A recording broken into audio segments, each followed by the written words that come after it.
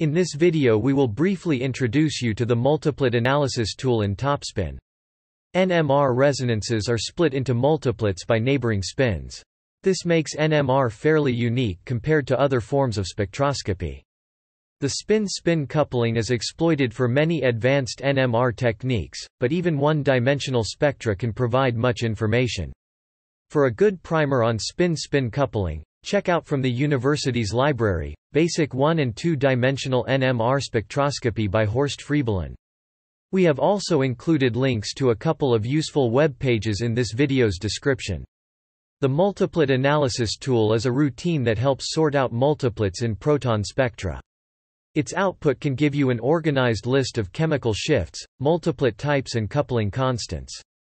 It is a time-saving tool that most users could apply to interpreting their NMR spectra. We will go through several examples to show some of the more common operations of the multiplet analysis tool. This video is not meant to be a complete guide to the routine. Documentation is available in Topspin for more details. We are going to start with a spectrum of ethyl benzene.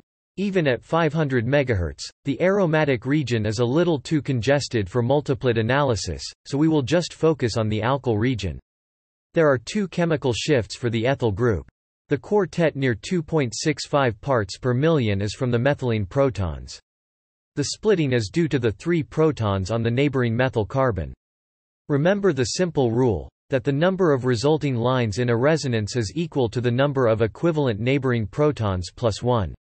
The methyl protons come at 1.24 ppm and are split into a triplet by the two methylene protons.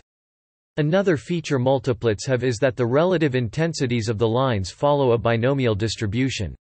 So, while doublets will have two lines of equal intensities, triplets will have line with intensities on the ratio of 1 to 2 to 1. Pascal's triangle can be used to predict these intensities for other multiplets. Before you start the tool, make sure the spectrum is correctly referenced. You should also carefully perform peak picking. Make sure only the peaks are selected and no extra noise or small, unwanted peaks in the baseline are included.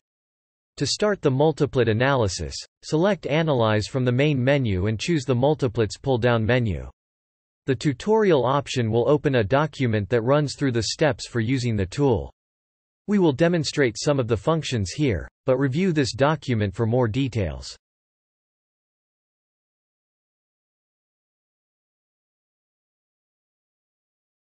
The first option in the multiplets pull-down menu will open the routine. You could also type mana at the command line. Let's take a quick look at the menu bar that opens in the data window. The first five buttons are tools for creating multiplet regions in the spectrum. The next two buttons are tools for combining existing regions. The buttons to the right of these are used for selecting regions or moving the selection to adjacent regions. The two icons with the red X will delete either the selected region or all the regions. The curved arrow buttons are for undo or redo operations. The next three buttons are for accessing automation options and reports. Finally, there are buttons for saving and or exiting. Fully automatic definition of the multiplets can be performed by clicking on the first button.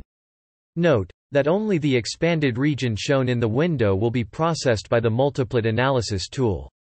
The result is the formation of brackets or trees at each of the detected multiplets. A close look at the triplet shows that the three lines of the resonance are marked with a bracket which defines the multiplicity. The color of the bracket is red and this denotes that it is selected. In the upper right corner of the window are the details of the selected multiplet. Note that the selected multiplet can be outside of the expanded window so be careful when viewing this listing. The top line shows the chemical shift. In the case of a triplet, and all odd-numbered multiplets, this is the value of the center line. Below this is a row labeled L1. For this case there is just one coupling so there is only one row in this area. The m equals 3 signifies that the multiplicity is 3, or in other words a triplet. The coupling constant, j, is measured from the line spacing and reported in the second column. Note that the coupling constant is shown as a number with four decimal places. This is not the actual precision of this measurement. The resolution of a spectrum is controlled by how long the free induction decay is measured. For default parameter sets, this value ranges from 3 to 5 seconds. The resulting resolution in Hz is the reciprocal of this acquisition time and will usually be about 0.2 to 0.3 Hz. Keep this in mind as you compare coupling constants and make spectral assignments. The quartet has a four-line tree or bracket. Note that you need to click onto this area to select this multiplet to bring up its details in the top right corner. Notice that the chemical shift for all even-numbered multiplets is going to be in the center of the region. The multiplet analysis tool calculates this during multiplet creation. A report of the multiplet analysis can be shown by clicking on the icon that looks like an arrow pointing away from a rectangle. This opens a window that includes a table with the multiplets. Starting from the right, the columns have the identifying number of the multiplet, the chemical shift of the multiplet in ppm, the coupling constant, again with four decimal places, the multiplicity marked with a m, the column marked connection, includes the IDs of the pair of protons that are coupled. So, in the case of multiplet 1, the methylene quartet, the coupling is to the proton labeled 2, the methyl triplet. Of course, the reverse is true for the methyl multiplet in the next row of the table. The last column is labeled integral label. This should show the relative number of each proton intensity. This value is usually wrong and it does not use the actual integrals you produced in topspin. You can try to update this with the Generate Integral Label button at the right, but this fails more often than it works with this version of the software. We will see this a little later. Double-clicking on one of the lines in the table will open up a dialog box where you can give the resonance an identifier name. This is an optional step. Here I am going to identify this multiplet as the methylene. You could also define the connections in the bottom section of this dialog box. In this case, there is only one other multiplet and the software has correctly made the connection. The methyl can also have its label entered. Now the main results table will use these identities in the ID column and in the connection column.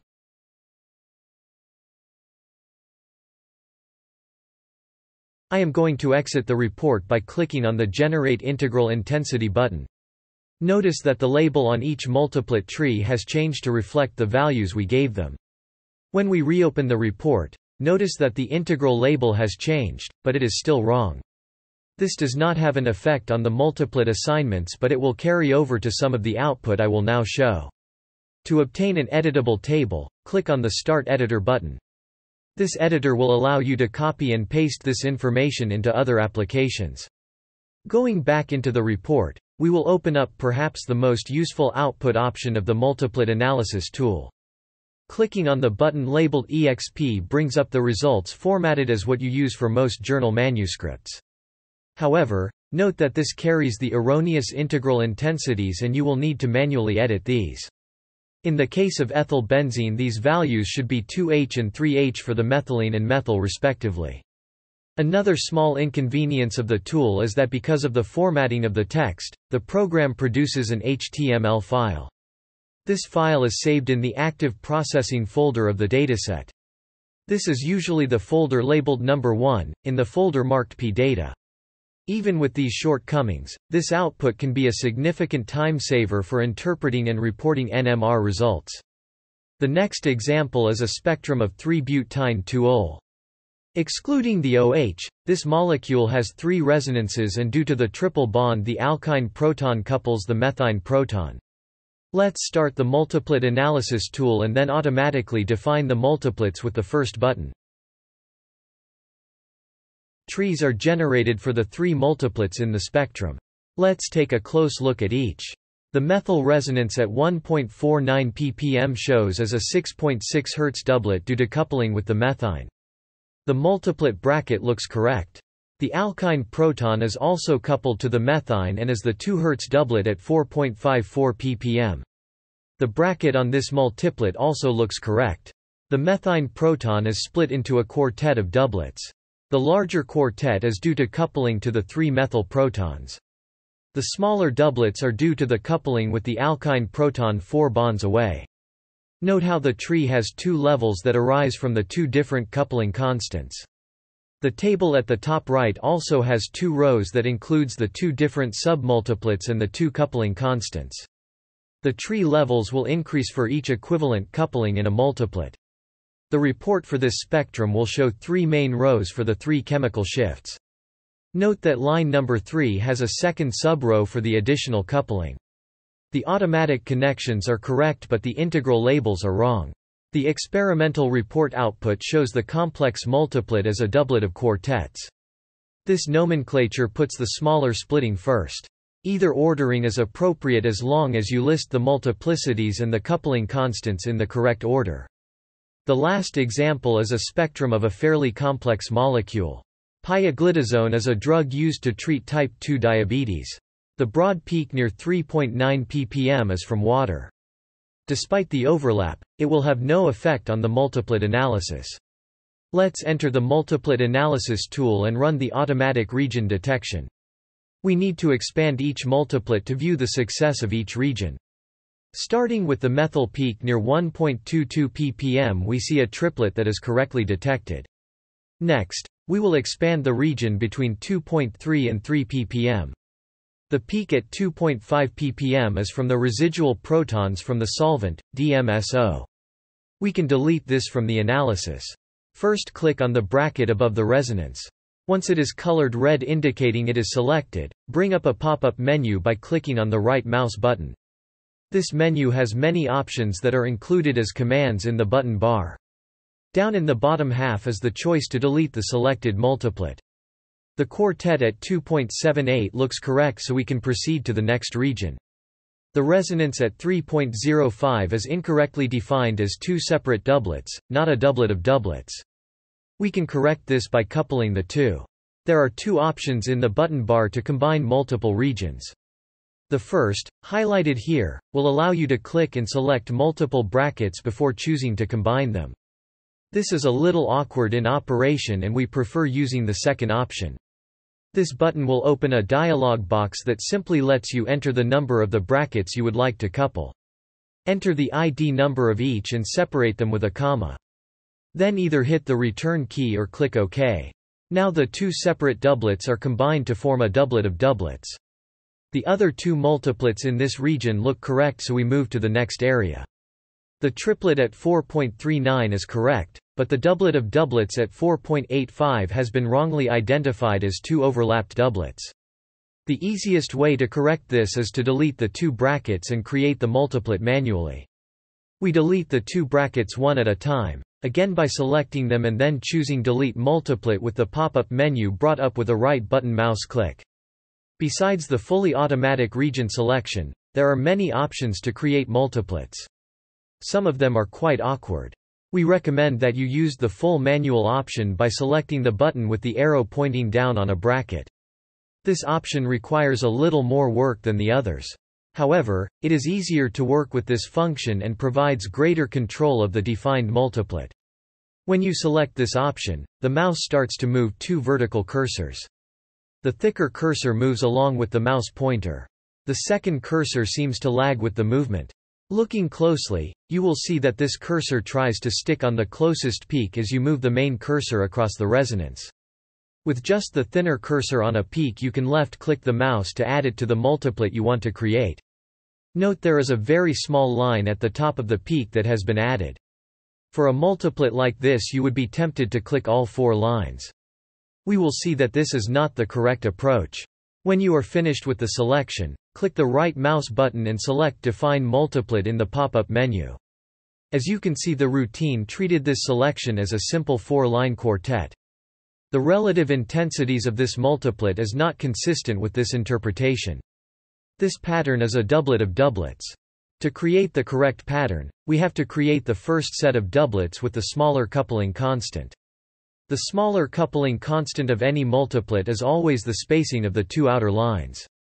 So, let's exit the manual region creation tool by right-clicking and selecting Finish Current Mode. Then delete the multiplet. Now we can re-enter the manual Create tool and just select the first doublet.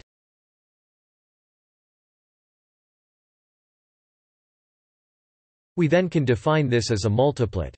Next, we can repeat this for the second small doublet. With the two smaller doublets defined we can now couple them with the tool we used earlier where we enter the ID numbers for the newly created regions. This gives the correct doublet of doublet tree for this resonance. Moving to the aromatic region we see these two oddly shaped doublets. This is a classic example of a 1,4, or para-substituted benzene ring. Technically these multiplets are a second-order splitting pattern called A, A', B, B' spin system. For this analysis we will ignore this fact and just accept the simple doublets defined by the multiplet analysis routine. The next three resonances are from the protons on the pyridine ring. The smaller coupling constants are from the 4-bond or meta-coupling while the larger splitting is from the 3-bond coupling of the adjacent protons. The automatic selection correctly defined these shifts. Back to the full spectrum, we can see a singlet peak near 12 ppm. By default, singlets are not included in the multiplet analysis automatic detection. That means they will not be included in the report. To include singlets in the report you can use the manual define tool and create a multiplet with just the single line. The region will show the multiplicity as one with a coupling constant of zero. The report for this spectrum has the correct listing for the chemical shift, multiplicities and coupling constants. However, some of the connections are incomplete. Notice the zeros in the connection column. To add connections for resonances, you can double-click on a row to bring up the Assign Connections dialog box. In this case the small coupling of about 1.6 Hz for the protons on the pyridine ring showed a difference that was a little too big for the software to recognize as being the same. Since the resolution on this spectrum is only about 0.3 Hz, the difference between this value and the proton with the spacing of 1.9 Hz coupling is within the experimental uncertainty. So, we can pick the coupling partner with the 1.9 Hz spacing from the table to manually make the connection. After we click OK, the table is updated with the new connection. We can continue filling in all the known connections to help interpret the spectrum. However, the experimental output does not require the connections to give an accurate report. Just remember to correct the intensity section since these are usually erroneous. This concludes our video on the multiplet analysis tool in Topspin. While it is not perfect it can give you a faster and easier way for extracting information from one-dimensional proton spectra. Just be careful examining the automatic results for each resonance and correct multiplets that do not get defined accurately. Also use integration to determine the relative intensities of each resonance and include that in the report. Let us know if you have any questions and we would be happy to assist you with using the multiplet analysis tool or any other aspect of using NMR spectroscopy in your project. Thanks for watching.